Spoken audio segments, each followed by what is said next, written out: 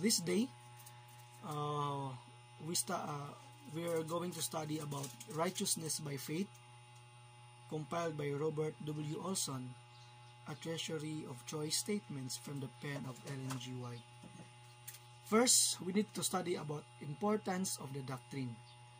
The question is, how important is the Bible doctrine of righteousness by faith in Christ?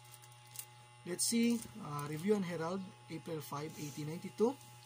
It says, Do not allow your minds to be diverted from the all-important theme of the righteousness of Christ by the study of theories.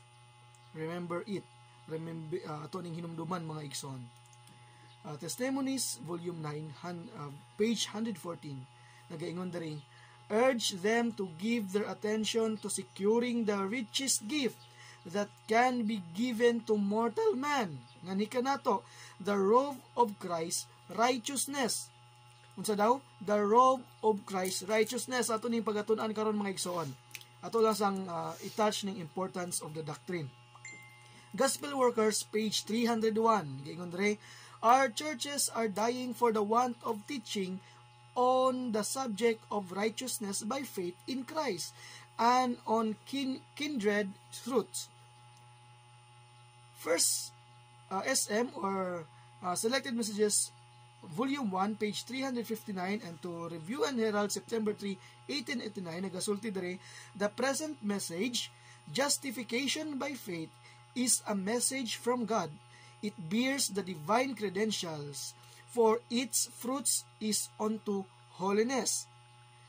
Sa first SM gyapon mga igsoon or uh, Selected Messages Volume 1 357 o sa Review and Herald July uh, 23, 1889 nagasulti gyapon dre We thank the Lord with all the heart that we have precious light to present before the people and we rejoice that we have a message for this time which is present truth. Sa daw, presente nga, nga kamaturan ang atong nadawat niining atong kapanahunan.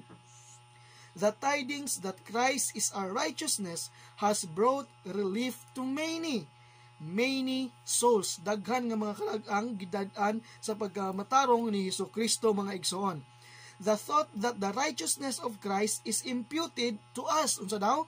The thought that the righteousness of Christ is imputed to us not because of any merit on our part but as a free gift from God. Free gift is a precious thought. The enemy of God and man is not willing that this truth should be clearly presented. Ato ning bantayan mga igsoon.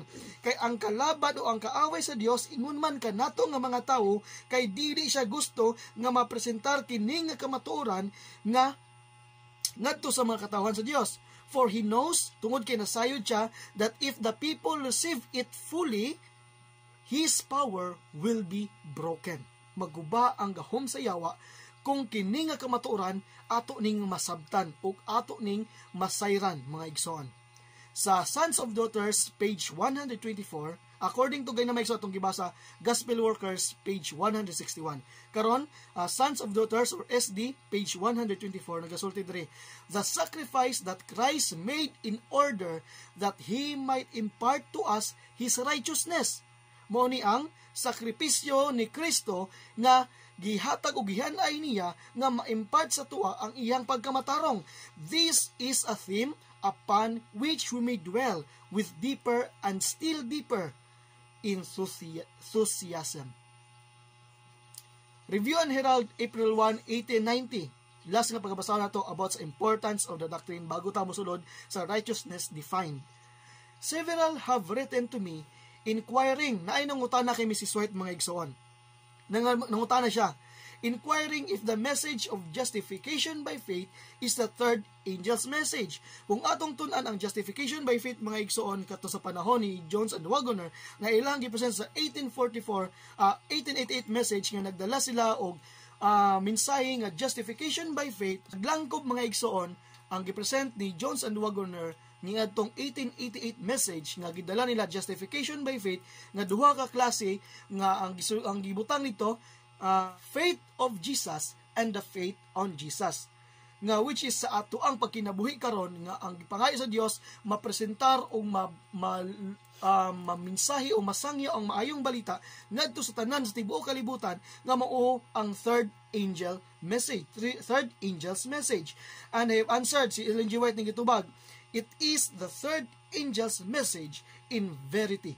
Atong nasayran gay mga igsoon nga gi gikuan gyud gitingho sa yawa nga dili ni mapresentar nga kamatuoran. Tungod kay nasayod siya nga iyang gahom mawala. Tungod kay nga ato aning tun-an karon mga igsoon ato ni pagaisgutan sa ato ang second part sa ato ang study. O God bless mga igsoon og dalaygon ng Dios ning tatna